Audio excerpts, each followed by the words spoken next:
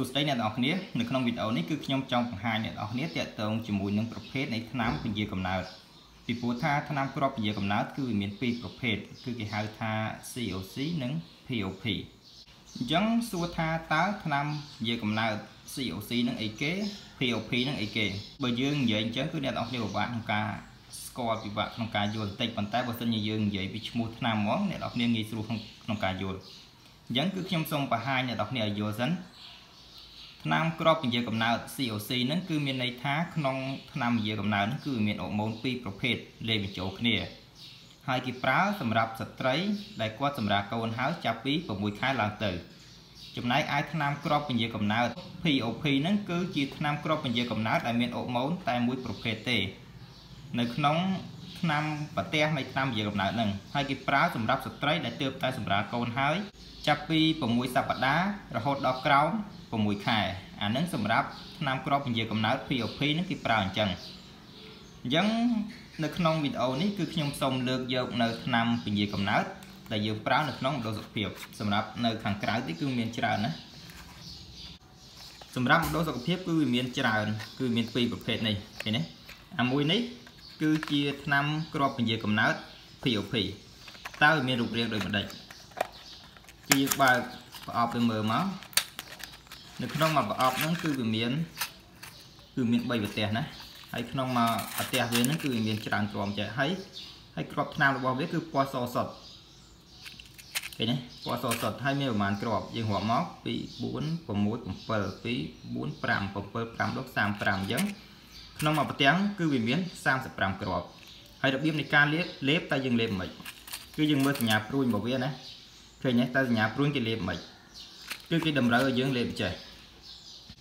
នេះគឺយើងចាប់ដើមលេបពីក្របទី1នេះនៅអាសញ្ញាព្រួញទីកោសនេះលេបអញ្ចឹងរហូតមកដល់ពេលវាអស់អានេះយើងចាប់ដើមមកមកពីខាងនេះហើយវិញលេបអញ្ចឹងមកក្រោយពេលអស់មកយើងតមកខាងនេះរហូតតរហូតដល់ទៅដល់ពេលយើងលេបអស់មកប្រទេសហ្នឹងគឺយើងត្រូវត មកប្រទេសថ្មីទៀតមិនមែនថាយើងលេបអស់មកប្រទេសហើយយើងឈប់ទេគឺយើងត្រូវលេបមកប្រទេសថ្មីលេបរហូតអាហ្នឹង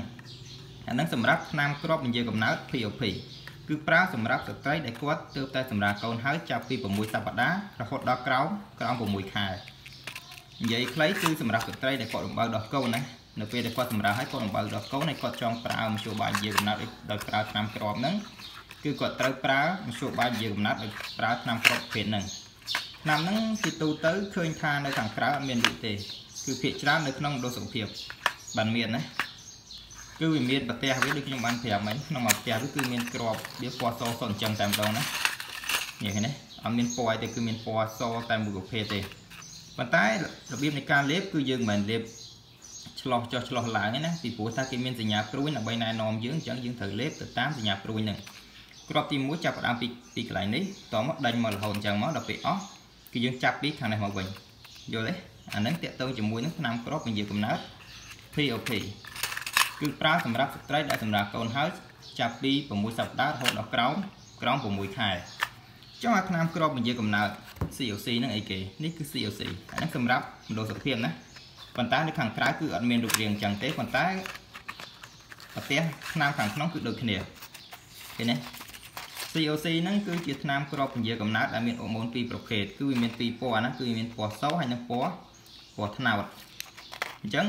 របៀបនៃការលេបគឺដូចគ្នាដែរគឺគេមានសញ្ញាព្រួយណាគឺមានសញ្ញាព្រួយអញ្ចឹងយើងត្រូវលេបពីណាទៅណា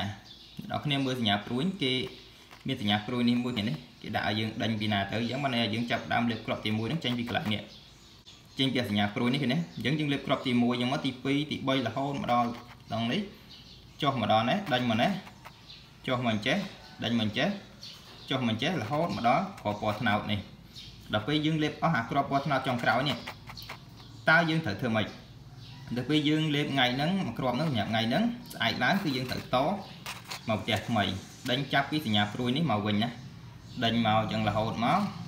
ចុះមកអញ្ចេះដេញមកអញ្ចេះចុះមកអញ្ចេះទៀតមករហូតមកដល់អាពណ៌ថ្នោតហ្នឹងអស់ចុងក្រោយនេះយើងត្រូវតមកផ្ទះថ្មីទៀត អាហ្នឹងគឺយើងលេបរាល់ថ្ងៃហើយជារៀងរាល់ខែទៀតអាហ្នឹងណាសម្រាប់ថ្នាំក្រមជាកំណើត COC ហ្នឹងហើយគេប្រើសម្រាប់ស្ត្រីដែលគាត់សម្រាប់កូនហើយចាប់ពី6ខែឡើងទៅអាហ្នឹងណា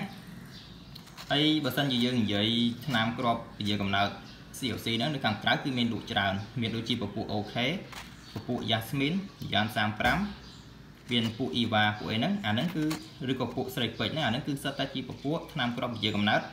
COC ហើយ អញ្ចឹងអ្នកនរគ្នាគាត់ឆ្ងល់ច្រើនគាត់ឆ្ងល់ថាអីគេអាថ្នាំគ្រាប់ពជាកំណើត POP COC ហ្នឹងគឺគាត់អត់យល់ទេប៉ុន្តែគាត់សួរថាខ្ញុំទើបតែសម្រាប់កូនហើយតើខ្ញុំប្រើថ្នាំវិទ្យាកំណើតបានអត់បានប៉ុន្តែយើងប្រើថ្នាំក្រុមវិទ្យាកំណើតអីគេគឺ POP ដែលខ្ញុំបង្ហាញមកអញ្ចឹងដែលមាន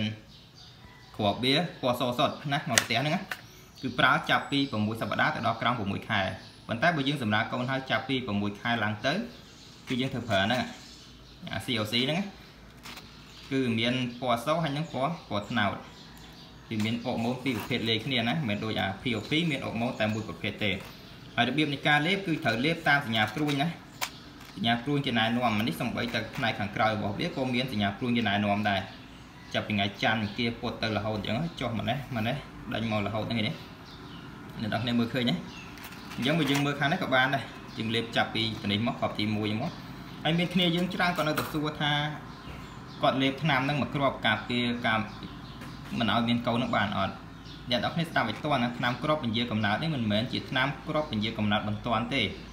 គឺយើងប្រើវាមានប្រសិទ្ធភាពលុះត្រាតែយើងប្រើវាបានត្រឹមត្រូវជារៀងរាល់ថ្ងៃនិងជារៀងរាល់ខែមិនមែនថាយើងលេបមកគ្រាប់ហើយការពារមិនឲ្យមានកូនបានទេអាហ្នឹងណាសូម្បីតែយើងលេបក្នុងមួយខែពេញហើយក្នុងករណីដែលយើងភ្លេចលេបតែមួយគ្រាប់ពីរគ្រាប់ក៏អាចធ្វើឲ្យមានកូនបានដែរ អញ្ចឹងអាហ្នឹងឲ្យទាន់ត្រង់ចំណុចហ្នឹងណាអញ្ចឹងនៅក្នុងវីដេអូនេះគឺខ្ញុំគ្រាន់តែចង់បកស្រាយទាក់ទងជាមួយនឹងថ្នាំគ្រាប់វិទ្យាកំណើតដែលមានអរម៉ូនពីរប្រភេទនិងថ្នាំគ្រាប់វិទ្យាកំណើតដែលមានអរម៉ូនតែមួយប្រភេទឬក៏យើងនិយាយថាស្ត្រីដែលគាត់ទើបតែសម្រាប់កូនហើយភ្លាមក្រោម6ខែគាត់ចង់ប្រើថ្នាំវិទ្យាកំណើតនឹងចង់ប្រើតើប្រើថ្នាំណាហើយនៅពេលដែលគាត់សម្រាប់កូនចាប់ពី6ខែឡើងទៅគាត់ចង់ប្រើថ្នាំវិទ្យាកំណើតនោះតើគាត់ត្រូវប្រើថ្នាំប្រភេទណាណា